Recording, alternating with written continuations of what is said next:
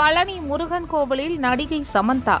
அறுநூறு படிப்பாதை வழியாக சூடம் ஏற்றியபடியே மலைக்கோவிலுக்கு சென்று சுவாமி தரிசனம் செய்தார். திண்டுக்கல் மாவட்டம் பழனி தண்டாயுதபாணி சுவாமி கோவிலுக்கு வருகை தந்த நடிகை சமந்தா படிப்பாதை வழியாக மலைக்கோவிலுக்கு சென்றபோது அறுநூறு படிப்பாதைகளிலும் சூடம் ஏற்றிக்கொண்டு மேலே வந்து ஆனந்த விநாயகரை வணங்கிவிட்டு பின்னர் ராஜ அலங்காரத்தில் முருகனை சுவாமி தரிசனம் செய்தார்.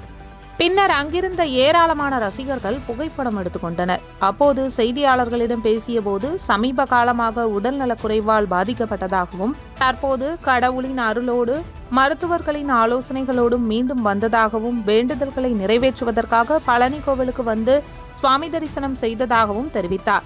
கோவில் நிர்வாகம் சார்பில் பிரசாதங்களும் வழங்கப்பட்டது. அவருடன் 96 சிக்ஸ் திரைப்பட இயக்குனர் சி. பிரேம்குமார் மற்றும் உறவினர்கள் வந்திருந்தனர்.